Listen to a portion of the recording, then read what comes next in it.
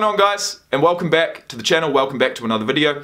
My name is Jacob and uh, thank you first and foremost for clicking on this video. Secondly, this video is a bit of an experiment. It's the first of what I hope to be many in a video series I don't have a title for at the moment, but basically it's going to be myself, as you all know, sitting down one-on-one -on -one, discussing a certain topic, whatever it may be, something that obviously affects me enough or I, you know, I might have some, some personal opinions on the matter, or possibly even a personal story to tell. Similar to Chael Sonnen, you know, he, he, he's basically formed a successful, very successful and very entertaining YouTube channel around him sitting down in a chair just like this and discussing topics. Discussing topics that he has enough either knowledge or you know inside information to make it interesting, right? So I'm not going to sit down and, and talk shit. I'm going to sit down and talk about people, talk about topics, talk about things that happen in the world, specifically in the world of sports, um, that affect me. And there is one guy and one news story uh, that has affected me recently. It's made me very, very proud. You know, it's made me just, just, just uh, happy, to be honest. Happy that I've seen a journey like this from the beginning and, you know, come to fruition in the way that it has. So Jordan Mailata first uh, travelled to the United States in February of 2018 to attend the IMG Academy. I first came across Jordan Mailata in mid 2020, uh, sorry, mid 2018, when I decided to start doing Rugby Player Reacts videos. And his story affected me so much because of the fact that it was current. So I, I was I was literally watching the episodes of Undiscovered come out, you know, as they came out. So I was watching this this story, I was watching this this this undiscovered series, and um, it inspired me. It inspired me. It gave me some incredible content to react to in those early days, and it it, it you know it got me on on the bandwagon of, of Jordan Mailata becoming a success in the NFL. Now, when I first started watching NFL, I never realized just how big, for a start, um, the linemen are, and especially uh, you know in the position of either left or right tackle. It's your job to protect that quarterback by any means necessary. And I'd seen Jordan Mailata as a, a rugby player prior to going over to the US, and, and he, at his size, is basically a bulldozer. He's a wrecking ball. He's six foot eight, running a five second 40 yard dash at 350 pounds. Oh, but also, um, he was 19 years old. So the guy was just running through absolutely everybody. He got picked up by the South Sydney Rabbitohs, played in the under 20s competition. And I dare say that if he didn't, in February of 2018, you know, take a massive risk, never having even put a football helmet on, let alone play the game. It was his pure God-given genetics, plus a highlight tape or two, that got his foot in the door, got him over there to the States with this opportunity presented to him. And I tell you what, he took it. He took it with both hands. And here we are, three and a half years later. He's done what any rookie NFL player dreams of doing, and that is playing out their first contract and securing their second. The bag, securing the bag, so to speak. And I tell you what, Jordan Mailata has done just that. So if you do want to go back into my video library, check out Rugby Player Reacts to NFL Undiscovered 2018, and you know, you can uh, relive some of the incredible moments that we had together. Me, Jordan Mailata, and you guys. You know, to see this guy get drafted without ever having attended a college or high school in the States, that's unheard of. Well, actually, it's not because he was the second player to do that behind a German guy the year before. Pretty sure he went to the Vikings. Anyway, Philadelphia Eagles pick up Jordan Mailata late in the draft. I think it was in the 8th round. I think it was in the 7th or 8th round with pick number 230 something. Um, it really doesn't matter because at the end of the day, a team did believe in him in the Philadelphia Eagles. And uh, what they got in those early stages was a, a canvas, a blank canvas. Uh, someone that, you know, an offensive line coach could literally take under their wing, or, well, theoretically, I mean, the guy's six foot eight and 350 pounds. No one's going to be putting him under their wing. So in those early days, we saw a couple of preseason clips. Uh, one of him in the locker room serenading the team on a ukulele, which seems that much smaller in uh, a guy like Jordan Mailata's hands. But um, he was in there. He was a part of the team. He was probably, I'm going to say, the biggest and heaviest player on the entire Eagles roster. And when you think about that, when you've got linemen that have, you know, come through the ranks, come through high school, college, they've seen it all, come through the NFL, they've seen absolutely everything. Can you imagine what they thought when this 20-year-old Australian comes walking through the door, only just, and, you know, he's never played the game before, but is so genetically gifted. I just don't know what they would have thought. I've never seen a guy that big. I've never ever seen a man six foot eight and 350 pounds. I've seen a guy six foot eight, but they're not normally that big. This is Shaq this is Shaq in his prime, plus about 50 pounds, minus about 4 inches. Put it that way. So three more things I want to discuss. Jordan Mailata, as the title suggests, has become the richest athlete in Australian sports history. So to make the comparison between a $64 million contract over four years with 40 million guaranteed, that's 10 million guaranteed per year, plus an additional 6 million in potential earnings. That takes him to $16 million a year.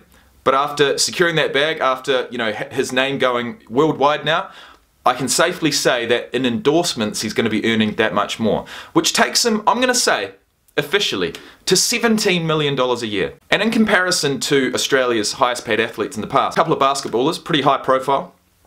Uh, one was actually the first pick, the first overall pick, and that was Andrew Bogut. And I'm pretty sure at the height of his career, he was earning $16.9 million a year. Patty Mills is at that level as far as fame, as far as success in the NBA. He's an Australian and I'm pretty sure his top contract was worth around about 5 million a year. Now these stats are not confirmed. I am pulling from my brain. I can't confirm them. You guys are going to have to. Another athlete, Adam Scott. I'm pretty sure around 6 or 7 million was his highest year of earnings. Now Adam Scott is a previous PGA Masters, US Open. Look, at the end of the day, I'm pretty sure it's the Masters. That gold jacket, is that the one? I'm not a huge golf fan, obviously. But anyway, look, there's been some really high profile, worldwide, viral type athletes from Australia, yet none of them have ever earned as much as Jordan Mailata is set to earn over the next four years. It's absolutely incredible. The man is 24. He went over to the States when he was 20. He's now 24. He's obviously matured in, in more ways than one, but I think I, I think the uh, the way that he's matured the most would have to be his football brain, right? His football nous. You know, preparing his body over these last three years to become a starting left tackle for the Philadelphia Eagles. Now, the second piece of information, second wee story, this is a personal story actually. Uh, Chael Sonnen would be proud. Jordan Mailata saw my reactions to the Undiscovered series in late 2018. He reached out to me. This is before he had a blue check mark on Instagram. He reached out to me. He said, look, actually, you know what? I'm going to grab my phone.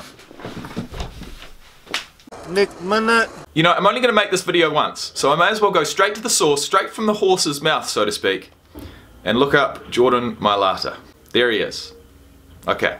On the 24th of August 2018, he sent me a message. My guy, Watched your reaction videos to our NFL program and loved every minute of it. Just wanted to show some love, man. There's still three more episodes, so stay tuned. So like I mentioned at the start of the video, you know, to discover, no pun intended, the NFL Undiscovered series, whilst the episodes were being dropped, to discover not only an Australian I'm from New Zealand, but you know, it's pretty close. We're like brother and sister. But not only an Australian, but also an Australian rugby player. Being a rugby player myself, entitling my videos Rugby Player Reacts to a certain video, it was just, it was incredible. And this guy reached out to me, he sent me a message, and it really inspired me. It inspired me to not only continue with my Rugby Player Reacts videos, but it also inspired me to actually give the game a go. You know, a rugby player can actually be successful in the league. Now, Jordan Mailata was never going to be a running back, which is the position I wanted to play. But it just goes to show that the skills and the attributes of a rugby player can transition successfully to the NFL. Anyway, three episodes to go. Stay tuned.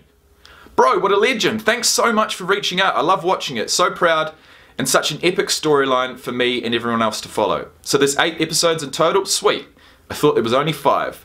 You know I'll stay tuned, big guy. Keep inspiring. And I sent that message on the 24th of August 2018. That's over three years ago. He said, My bro, I had to reach out. Your reaction was too good to not. Three more episodes. The director was actually the one who hit me up about you, telling me to watch it. If you have any questions, let us know, mate. I said, awesome, bro. I'd hope you catch a glimpse of it somehow, and there you go. Props to the director for that. Honestly, production of the NFL videos is so awesome, I could react to them all day.